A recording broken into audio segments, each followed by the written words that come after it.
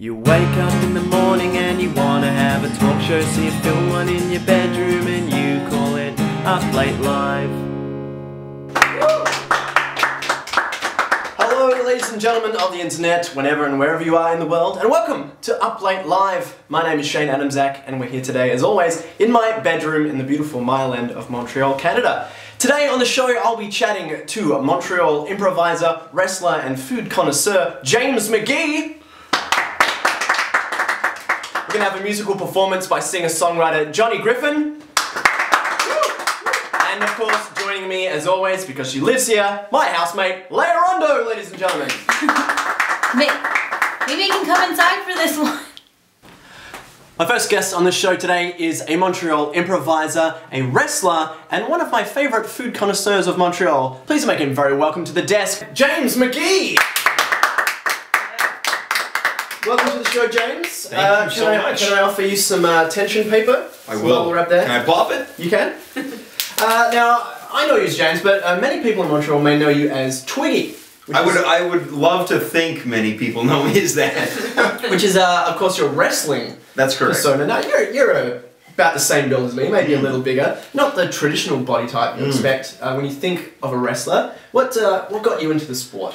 Well, I uh, my I think the same way that a lot of people do. Their family um, raises them to watch it. So as far back as I can remember, my parents had me sit in front of the TV and watch pro wrestling. And then as I got older, I became so obsessed with it that everyone else in the family stopped liking it.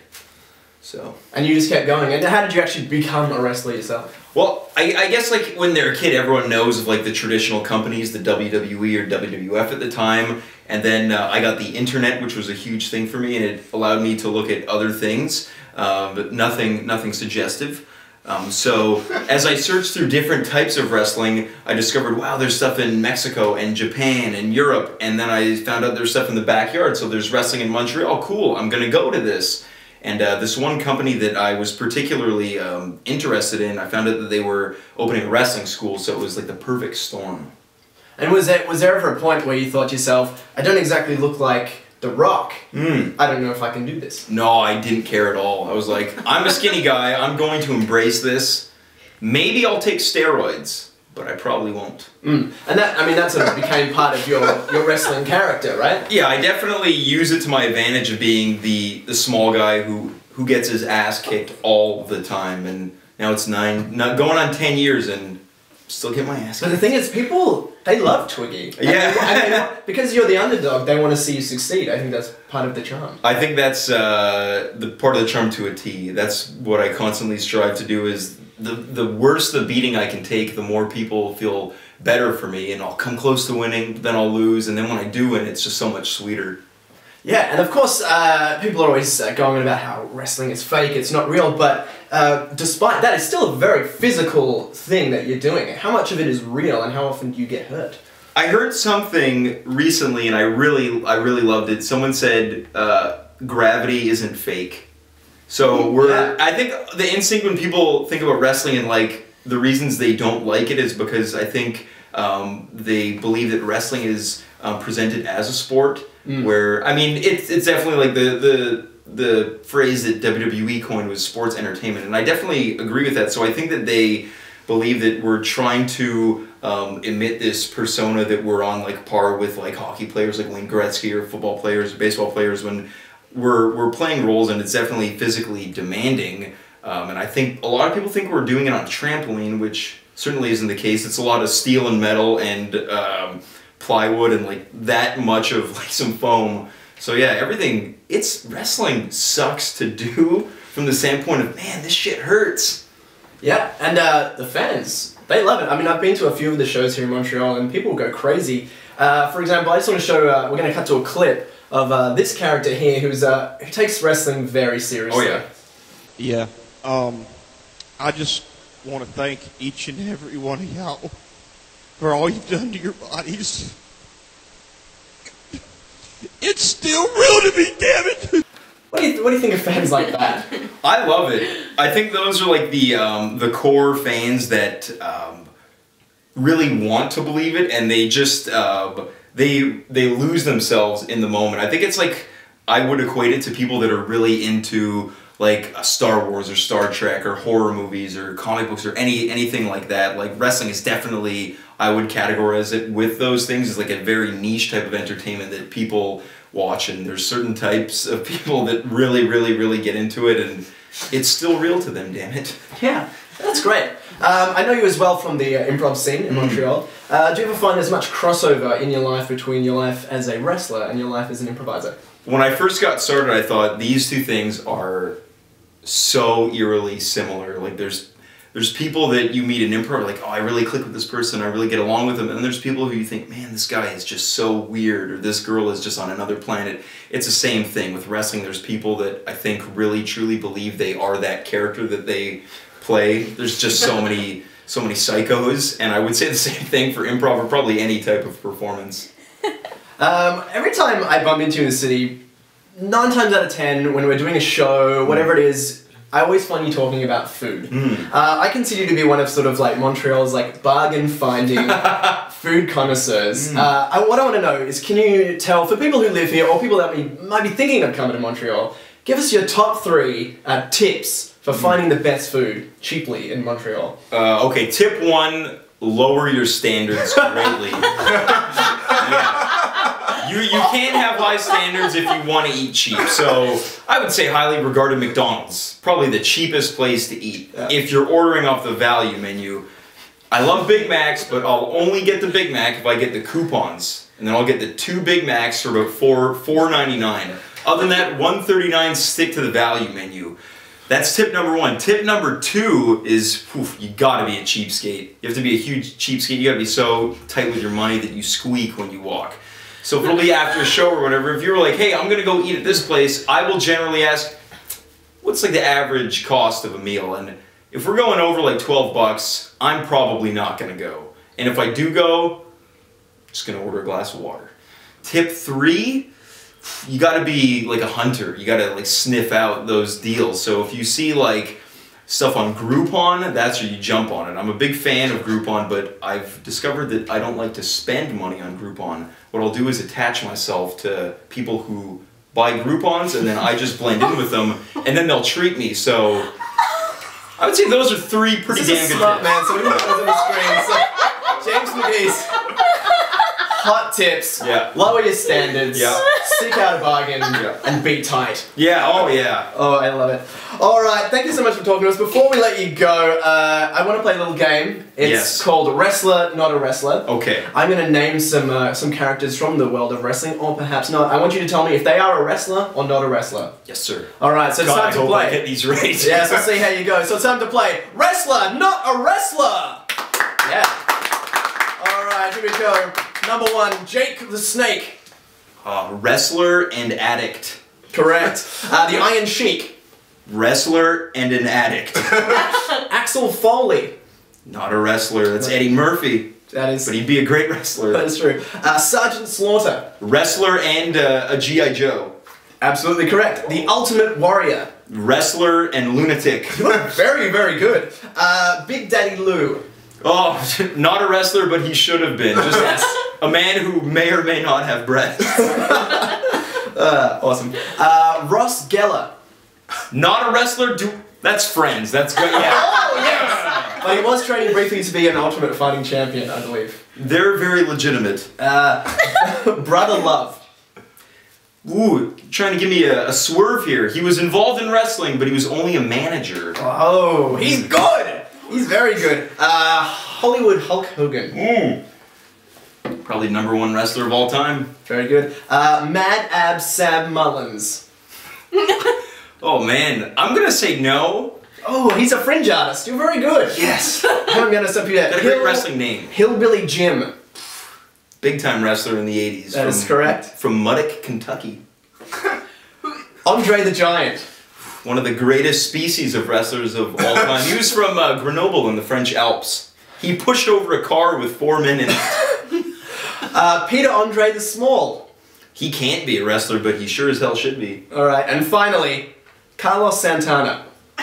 Carlos Santana may be a distant relative of Mexican wrestler Tito Santana, but Damn it! James McGee knows Oh. everything about wrestling, and we're going to be right back with more after this on Up Late Live. Thanks for having me, guys. This week on Besides the Music. Do you care about what you're saying? How can I even answer that, man? You got a lot of nerve asking me a question like that. We just ask the Beatles that? You got a lot of nerve, man.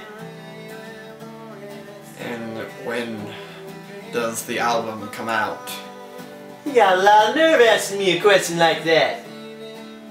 How, am I, how can I even answer that if you got the nerve to ask it to me? Hey, Bob, you got the time?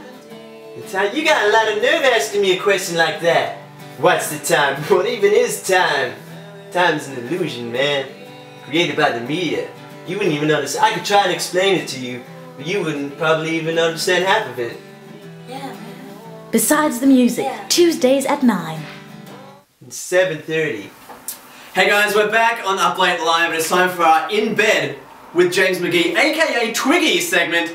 We're going to do something a little bit different this week. We're going to be uh, doing a little mini mini WrestleMania, which I'm slightly nervous about. Uh, but before we get to that, uh, Twiggy, is there something you would like to plug for the people at home? I would love to. April 21st, which is a Sunday night, 2013, at the Belmont, which is at the corner of Saint Laurent and Mount Royal, we are going to be presenting Battle War, the one year anniversary. A show filled with chaos, people smashing through tables and smashing through each other. Wild crowd, wild night. So come celebrate a birthday with us. Alright, we've got questions from people uh, from Twitter and Facebook. There's uh, the addresses there if you want to get your questions into the next episode of Up Bet Live. But it's time to do this. Twiggy, are you ready? Oh God, I've been born for this moment. Let's get ready to rumble! Twiggy, what I want to know is, uh, uh, what's that smell uh, Rachel from Facebook wants to know? What's that smell? Well, it's probably my uh, my gear right now. This outfit stinks of sweat and man. Uh, uh, Lila from Facebook wants to know, where have all the cowboys gone? Where have all the cowboys gone? Probably to a dude ranch. Uh, Gina from Facebook wants to know, in your opinion, uh, what was Voldemort's biggest mistake? I don't even know what that means. Uh, Chris from Facebook wants to know, Kirk or Picard? Oh, I don't want Star Trek. Oh, uh, uh, Megan from Facebook wants to know, whatever your favorite kind of bed sheets and details, please. Ah, Satin. Uh, Rena from Twitter wants to know, ah, ah, ah. If you had to invent a religion, what would you call it and why? Oh, the utopia of cornucopia. oh, my leg. Uh, Jackie from Twitter wants to know, what is your most memorable experience with cheese? Oh, eating it. and finally, uh, Kimber from Facebook wants to know, tell us about a time you thought you'd get in trouble for something but you got away with it. Oh, it's a story that can't be told. Okay, that's been in bed with Twiggy. We'll be right back after this. I'm tired.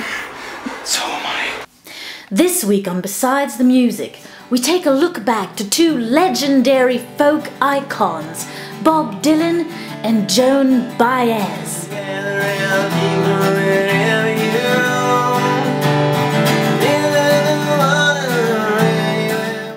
Bob Dylan is a good friend of mine, and he always really liked my version of his songs, so. Come gather round, people,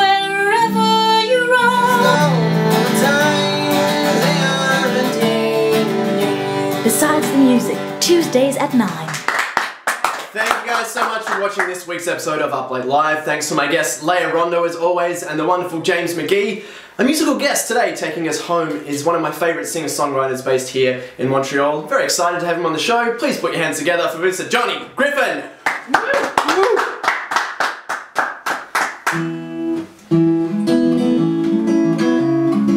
Should I introduce the song? This song is called um, Drive the Snakes from Every Grave.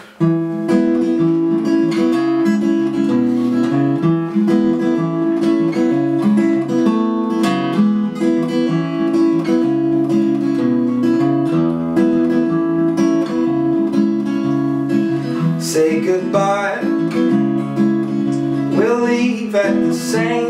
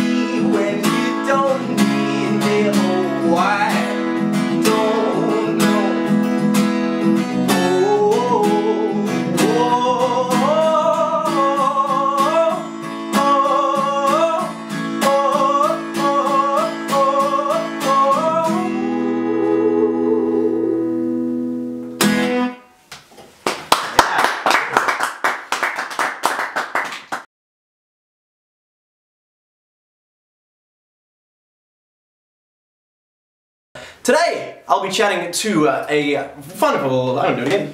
again.